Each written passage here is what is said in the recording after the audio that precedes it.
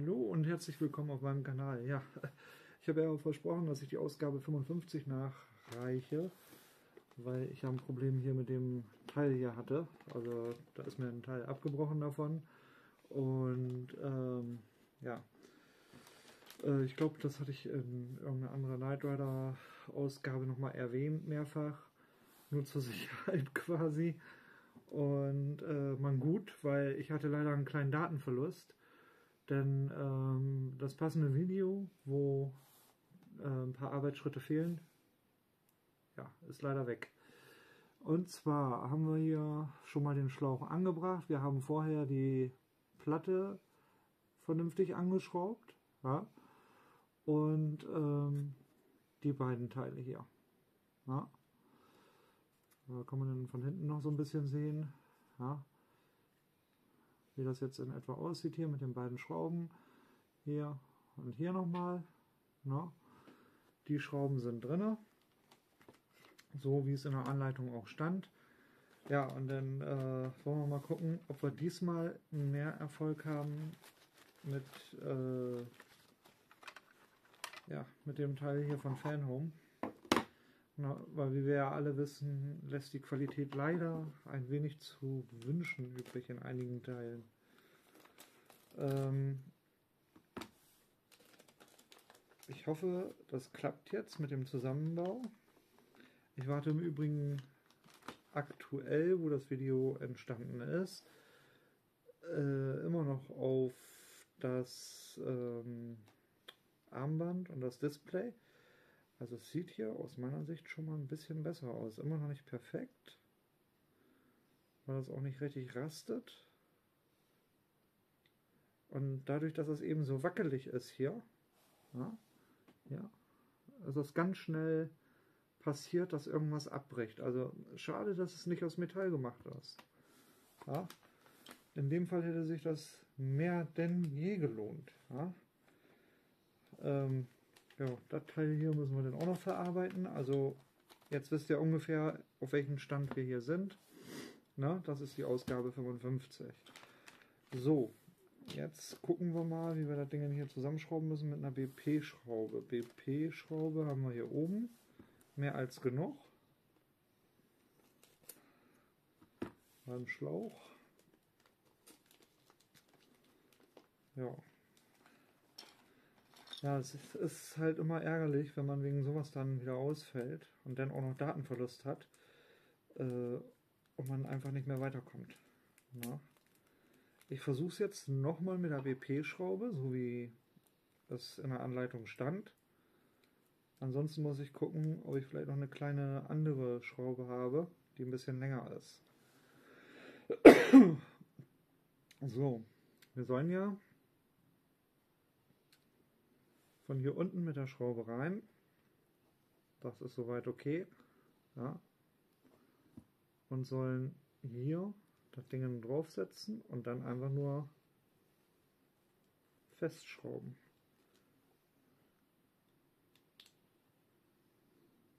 Tja. Ich weiß jetzt nicht, ob ich es habe oder nicht. Aber ich befürchte nicht. Ja, doch. Irgendwas muss da gegriffen haben, aber so richtig lasch.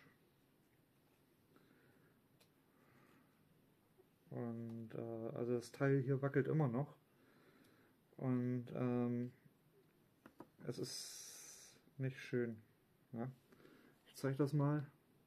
Ja? Richtig beweglich und ja, und da ist es schon passiert, schon ist es wieder auseinander. Na? Also ganz ehrlich, wenn ich jetzt könnte, ja, würde ich jetzt einfach mal schreien. Ja? Weil mich regelrecht solche Kleinigkeiten megamäßig aufregen. Ja? Jetzt weiß ich nicht, wo das andere Teil hier hingeflogen ist. Das ist irgendwo im Nirvana, Nirvana gelandet. Ja? So, hier, da ist es nämlich. So. Und äh, damit haben wir schon mal keinen Erfolg. Ja, ähm, ja wer natürlich hat, sollte besser Spacks reinhauen. Ja? Oder Ähm, ich weiß nicht, woran es liegt, aber hier irgendwie passt es vom Durchmesser ja nicht. Na? Vielleicht auch noch mal ein bisschen auffräsen oder so. Das hatte ich ja auch schon mal gemacht. Dass ich das so ein bisschen mit dem Schraubendreher hier äh, größer gemacht habe. Das Loch. Na, äh, kann man denn hieran wunderbar erkennen jetzt gerade. Na? Aber ähm, ganz ehrlich, normal ist so ein Ding hier nicht. Ja? Das muss schön aufsitzen, normalerweise. Und dann brauchst du es mit der Schraube eigentlich nur noch schön ranziehen. Passiert aber nicht. Genau das passiert nicht. Das geht jetzt so lange das Spielchen, bis wieder hier ein Teil abbricht. Ja? Ich werde jetzt mal eben äh, andere Schrauben holen. Ja?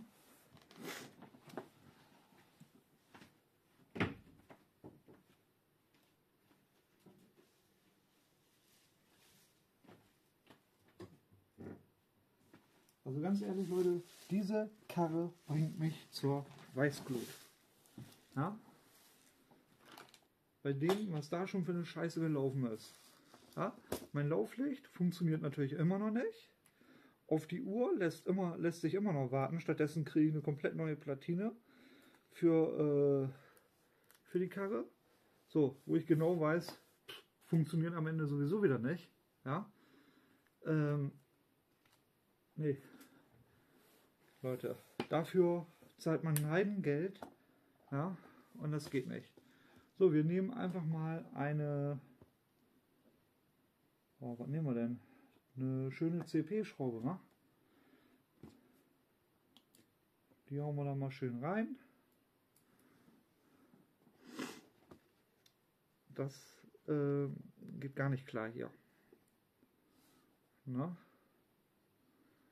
verlangen Heidengeld, das ist ein Lizenzmodell, ja, stimmen sowieso schon etliche Details nicht. Und dann kommen die mit sowas noch an. Ja? Es ist zum Brüllen. So, also mit anderen Worten, ja, wenn ihr noch nicht so weit seid, na, kann ich nur empfehlen, ja, nimmt eine schöne CP-Schraube und siehe da, es sitzt. Es zieht sich rein. Es sitzt zwar jetzt ein bisschen schief drauf, aber es sitzt. Ja?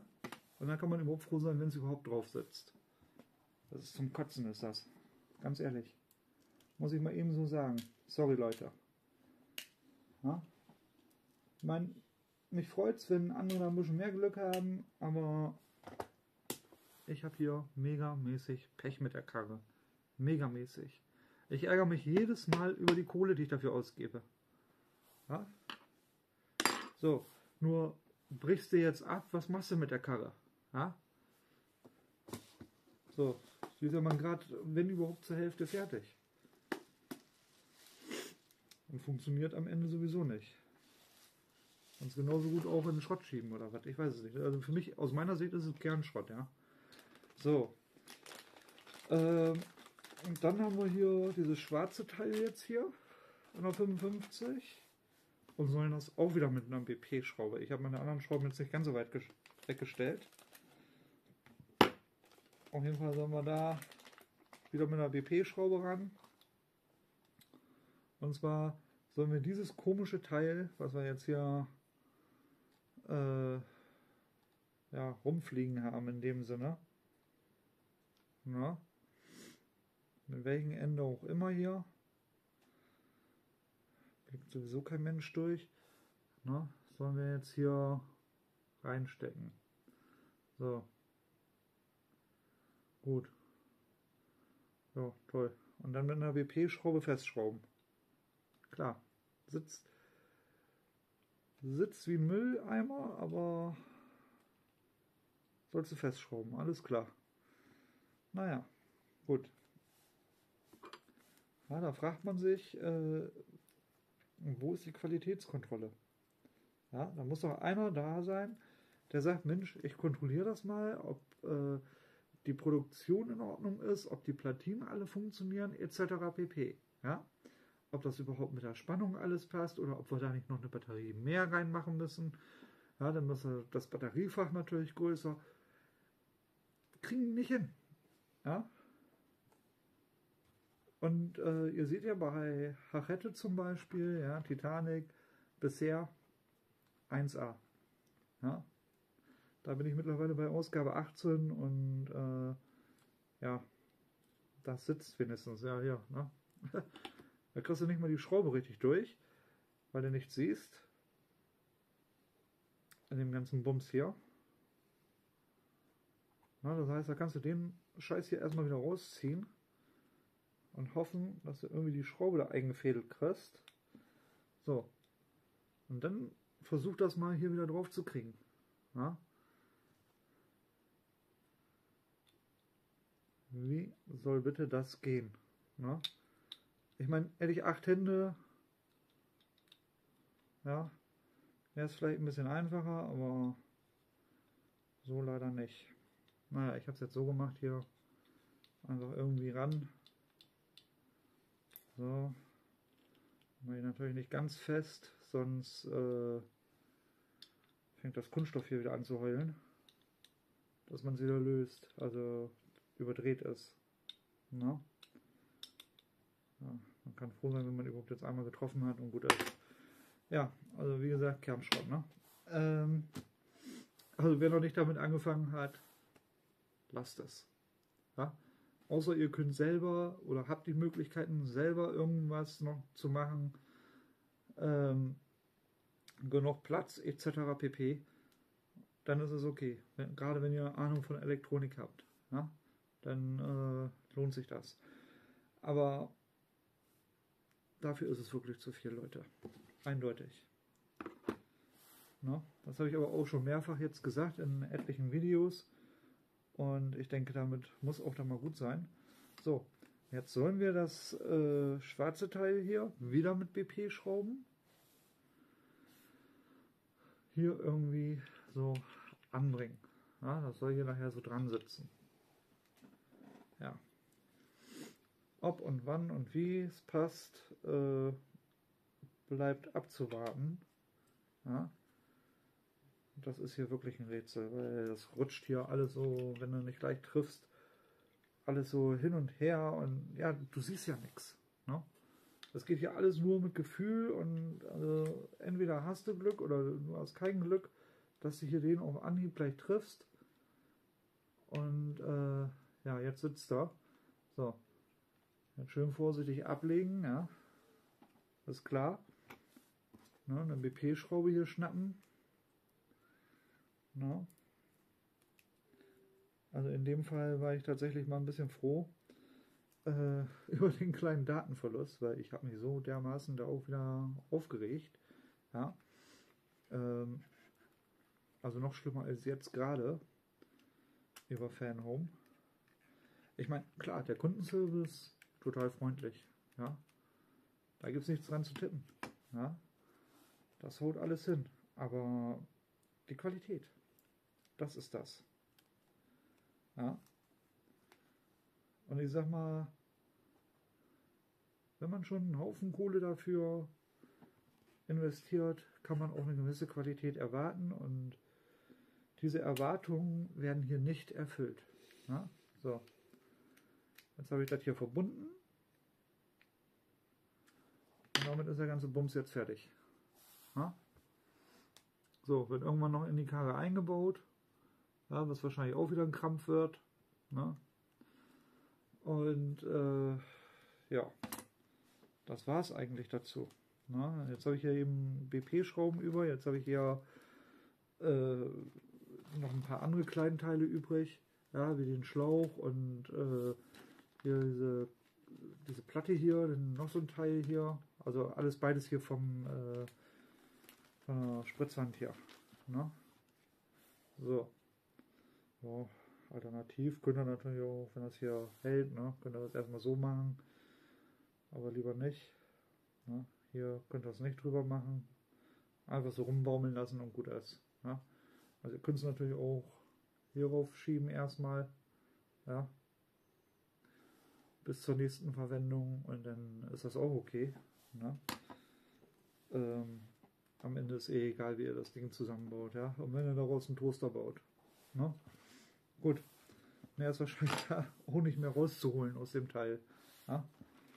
Ähm, ja, es tut mir leid, dass ich so vernichtend äh, darüber berichte. Ja. Aber so seht ihr halt nicht nur die schönen Seiten, sondern eben auch, was es für Komplikationen gibt. Ja? An welchen Stellen. So, besonders wenn du direkt nach Anleitung vorgehst. Ja? Also von wegen, nimm die Schraube und die und nimm das und jenes und das musst du so machen. Ja, und so sieht es dann am Ende auch aus. Ne? Man sieht es ja hier an dem, ne? guckt euch das an, hier krumm und schief das Teil. Mhm.